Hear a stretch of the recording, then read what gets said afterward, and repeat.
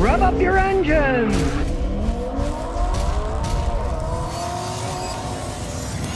Well, if you saw in the past, they make these cars called Hongguang Mini EVs. They're mini EVs, and they go at a lower price, and they're outselling the Teslas. It turns out they only make $14 for each one that they make, no wonder they're selling them so cheap. Now, they say in 2021, the way their sales are going, they're going to sell more than 400,000 of them. But they're only making 14 bucks a piece. So you might think, why are they making these things to make only $14 a piece? Well, because there's more than meets the eye. They're electric vehicles, right? So they get carbon credits. And each Mini that they sell has a carbon credit of two carbon credits. And in China, each carbon credit is worth $464. They're almost making a thousand bucks because they get two of those. If they sell 460 thousand of them this year. That's times a thousand dollars. That's a lot more profit than fourteen dollars per car. and that's one of the reasons they're making them. The other reason, of course, is status. They want to be the highest selling electric car in the world, which they will be. They want to get the name out there, which they will be. If you look at Toyota, when they first came to the United States, they sold little bitty pickup trucks.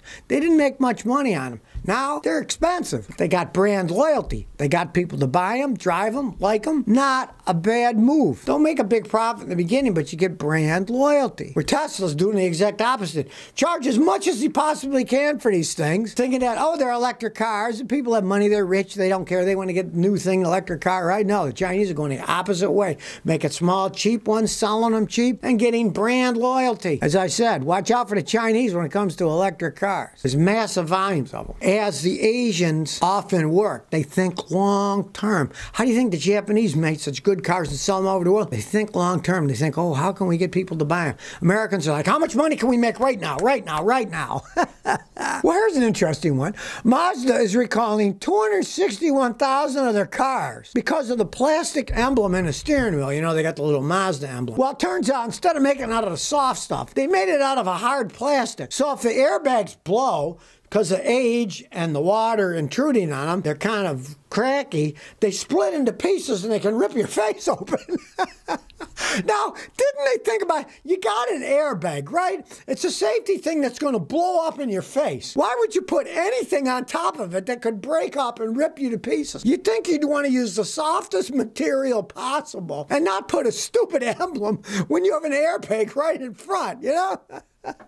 I guess they deserve to have to recall them for plain stupidity. So it turns out they're using polyurethane, and modern ones, they use polyester, like polyester pants, you know? They're flexible, they don't have problems, but they use too hard of a plastic material that it has injured people. They've blown up and ripped their faces and stuff. Now, kind of an idiot would design a safety device that's supposed to hit people with anything on it other than the softest material possible? Like I say, they should get an award for stupidity on that one. But now they got to replace 261,000 of these things. Do they have engineers in these companies that even study this stuff? Or is it just helter skelter? Oh, you know, let's put rocks on these things. It looks good, yeah. So what if it's going to hit people in the head? Really makes you wonder. It really does. Dev Mitch says, shock extenders, are they good or bad? I'm putting new OEM shocks in my 04 Dodge Dakota. I'm looking for an easy way to get one or two inches out of it. Well, you're not raising it much. It's not affecting it too badly. You better make sure you buy really good shock extenders because the weight of your vehicle's on them. And I've had customers in the past buy cheaper ones. A lot of them were made in China. Put them on the end of the shocks to raise them up a little higher. And they snapped off when they hit big bumps.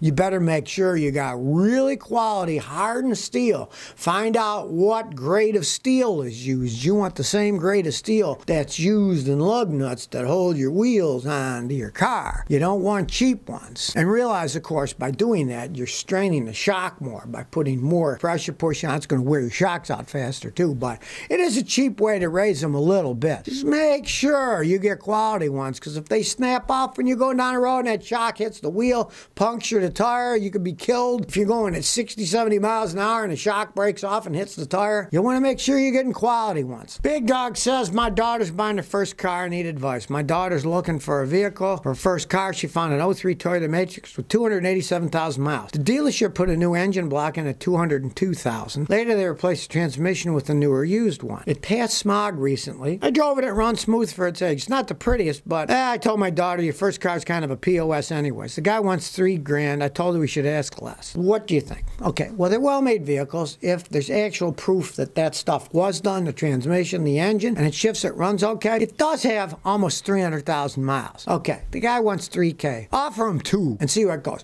Realize the Matrixes are basically Toyota Corollas. They can run a really long time, but it's an old car. You're not getting any guarantee. They can run a really long time. If you drove it and it shifts good and it runs good and doesn't smoke, the engine's not burning oil, it could be good for quite some time. And really, these days, you don't get much for two or three grand in a used car. See how low you can get them to go. And if they do, you're not going to get that many people buying on a 300,000 mile car for $3,000. Even today, that's a lot of miles. You're not getting any guarantees, but they are excellent built cars. And if it's proven that the engine was replaced and uh, the transmission was replaced with the lower mileage one, yeah, no. If it shifts good, eh, why not buy it? Well, if you saw that video where I bought a new car and I got that Honda N600, the two cylinder motorcycle engine and the first Hondas they sold in the United States before they sold Civics here, it turns out that a guy by the name of Tresselix restored one back in 1993. He says, I restored one back in 93. I've been before and after pictures. I bought the last gas tank master cylinder carburetor that Honda had to sell at the time. Okay, well, that's interesting. He has pictures. It's really cool looking. That was back in 1993 you bought the the last one, right?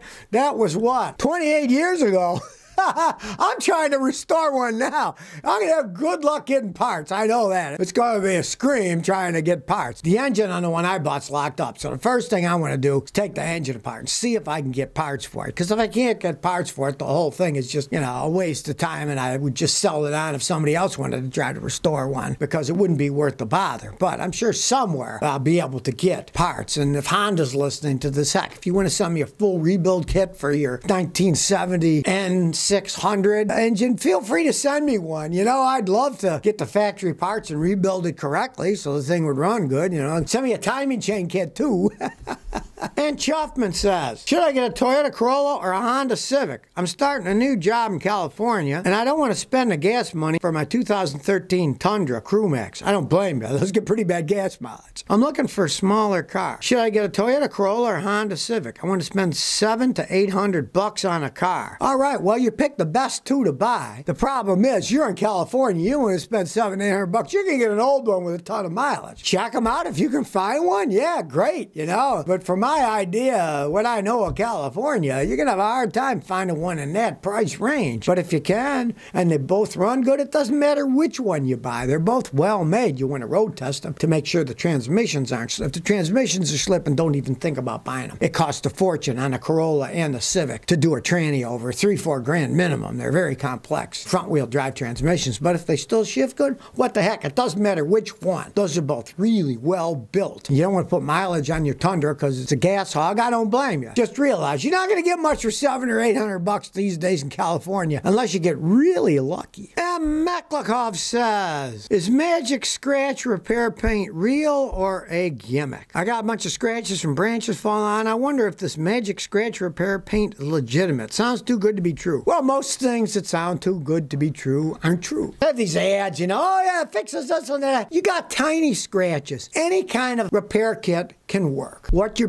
basically doing is you're either getting really fine sandpaper or you're getting different types of polish. Generally, there's a coarse, medium, and a fine. And if it's really bad, you start with the coarse, then use the medium, then use the fine, and then paint over it, right? It can be done for minor scratches. Deep scratches, forget it. You got to repaint the car. And of course, the problem is when you have scratch repair paint, your car was spray painted when it was made. Very even layers of thin paint, and then clear coat paint. That's sprayed on uniformly. You get out there and you start dabbing little bits of paint. It never looks perfect. I tried. Now it's looked like a woman with crappy fingernail polish that they've touched up that looks really sleazy. And your car's probably going to look like that. It's very hard to touch it up. The only real touch-upping that you can get on decent scratches is a pro who knows how to feather it or somebody who's really good at airbrushing. You got one of those little airbrush paint kits, you know, that airbrushes stuff. Some of those things work quite well if done correctly. But you got to be a real pro to airbrush. I've tried it on stuff, and I'm I admit I'm no good at it. You got to be a pro to do that kind of stuff. It's pretty hard to do. So if you never want to miss another one of my new car repair videos, remember to ring that bell.